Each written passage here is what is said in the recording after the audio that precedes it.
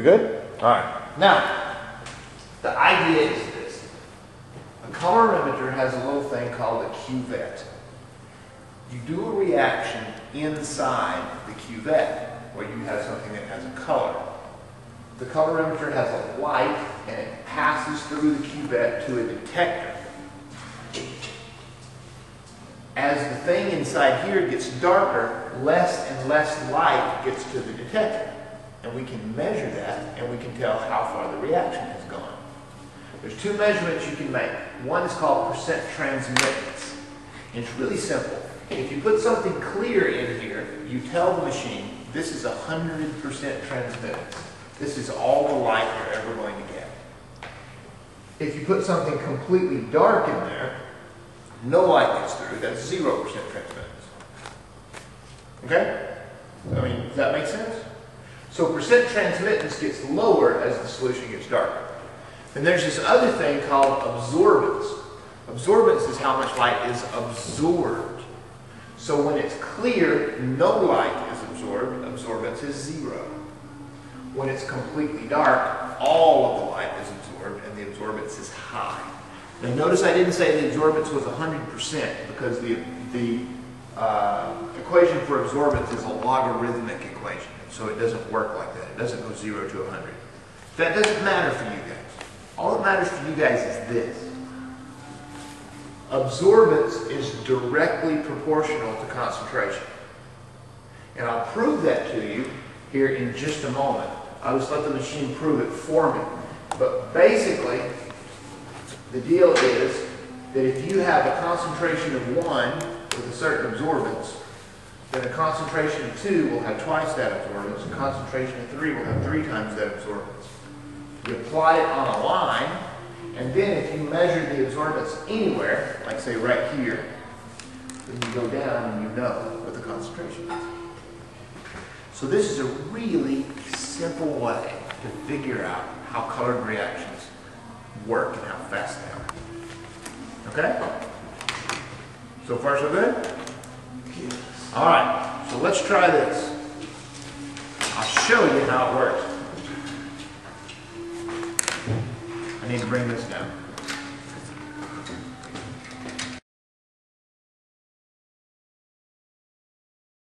Now, let's pan this down so we can see the colorimeter and how this actually works. Okay, colorimeter has these buttons. It's got an on-off, which is, I think, pretty self-explanatory.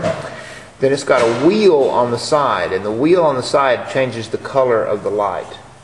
Now, at some point, you might have taken art, and if you took art, you might have learned about the color wheel. Right? Well, the color wheel is what we use in chemistry to figure out what color of light do we need to shoot through this solution to see how, how fast the solution goes. If the solution is reddish, then we need to shoot the complementary color of red through the cuvette. The complementary color, the one that's on the opposite side of the color wheel, is blue. Okay? So I just rotate the wheel until I have blue, and I do. I have it right down there. Now, use a cuvette. Now notice this cuvette is not exactly clear. Okay? But that doesn't matter because you tell the machine what clear is. Right? So the way I do that dilution, and I put inside the cuvette, slot it into the colorimeter, and I hit R for reference. And it tells me the absorbance is zero. Okay? So I've told the machine, this is clear. Then I take that away, and I put a little bit of the solution that I'm interested in in there.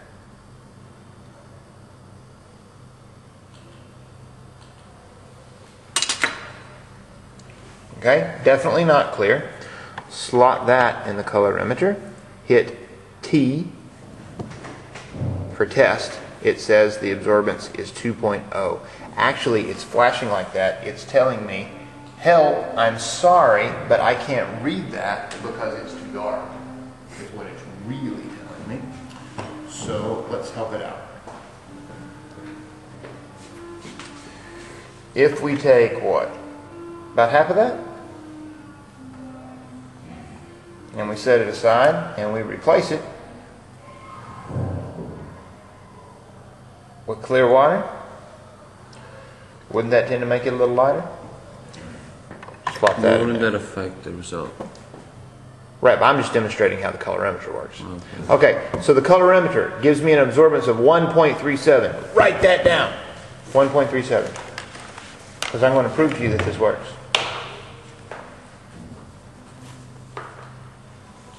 Okay, now.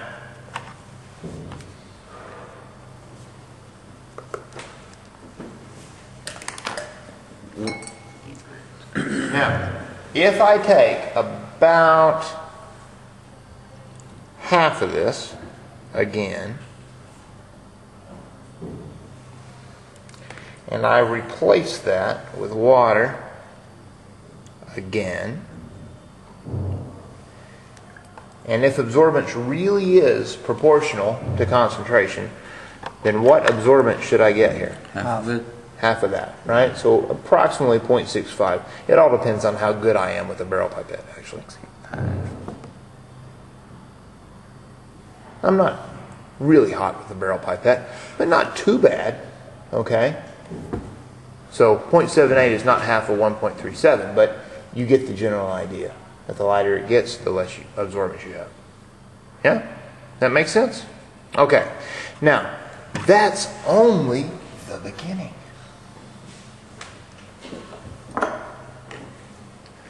Because not only will this machine tell you what the absorbance is, it will tell you what the absorbance is over time. Ooh. Okay, so we need to zero it out again. Okay, that's zero. Then we dump that in there. Then we put what was it? I said that was. uh, So I do about that much. And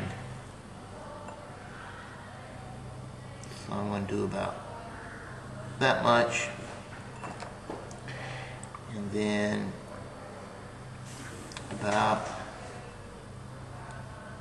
that much. And I strongly suggest that you guys are a little more precise because I'm doing chemistry now the way I cook, which is about this much, about that much, about this much. I hit this thing right here, which is a graph with a curve on it. Oh, okay, I thought it was. And now what it will do when I hit this button is it will begin to take absorbances every second. Okay? And so if you, especially if you have somebody calling them out to you, you can write them down as you go. All right? Ready? I hit T. Get the first one, push it in there.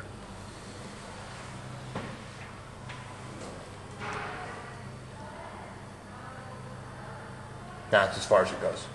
Okay? You get the idea? All right. And I can, in a moment, show you an even better way of doing that.